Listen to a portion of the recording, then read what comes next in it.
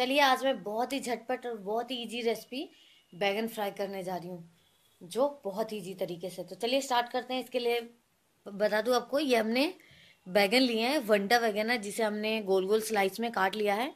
ना ज़्यादा पतला इसको काटना है और ना ज़्यादा मोटा रखना है स्लाइस को। तो इस तरीके से हमने धोकर काट लिया है और ये सारे हमने पीस बना लिए हैं। और यहाँ पे ये लहसुन और अदरक है, कद्दूकस किया हुआ। एक चम्मच लाल सूखी मिर्च है पाउडर है, धनिया पाउडर एक चम्मच है, हल्दी पाउडर आधा चम्मच है, दो चम्मच बेसन है और एक छोटी चम्मच नमक है। तो चलिए स्टार्ट करते हैं इसे बनाना। इसके लिए सबसे पहले हमें इन सबको मिक्स करना है।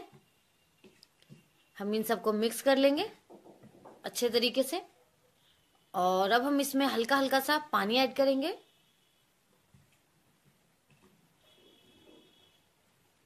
ज़्यादा पानी हमें नहीं ऐड करना है, बहुत ही हल्का हल्का सा पानी ऐड करना है। बस हमने इन सबको मिक्स कर लिया है।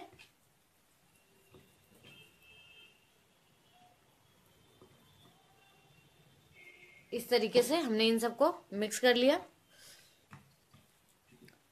और अब हम जो हमने ये मसाले मिक्स किए हैं, वो हम इन सब स्लाइसों में इस तरीके से लगाते हुए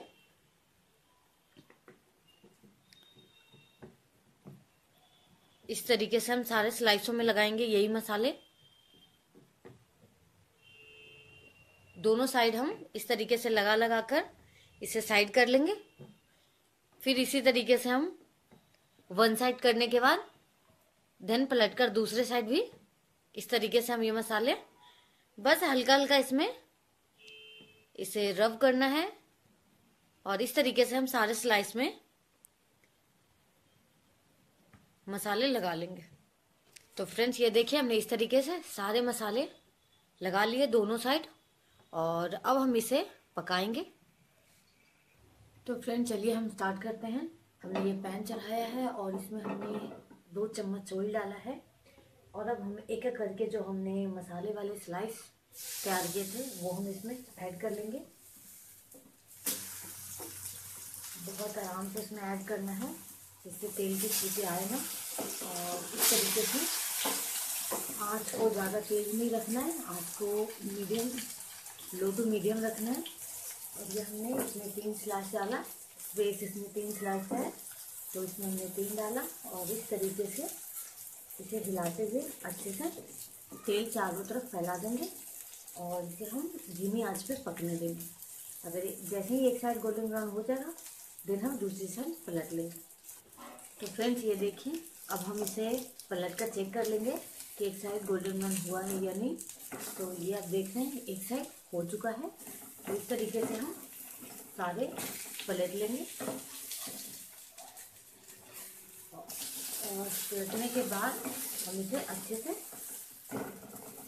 इसे इस तरीके से हल्का सा पुश करते हुए पैर में हम दबाएँगे।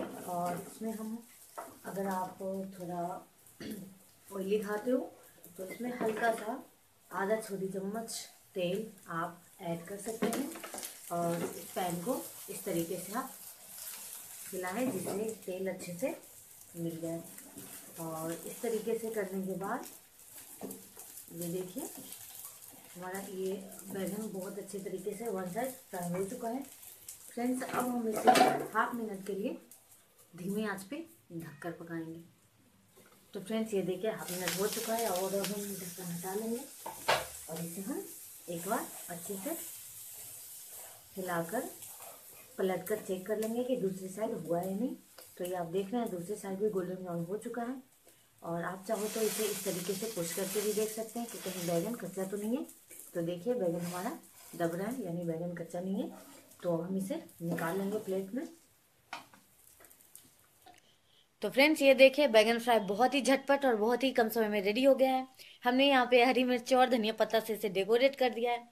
तो अगर आपको ये वीडियो अच्छी लगे तो प्लीज़ लाइक करें शेयर करें और हमारी और भी ऐसी सिंपल एंड टेस्टी रेसिपी देखने के लिए हमारे चैनल को सब्सक्राइब ज़रूर करें।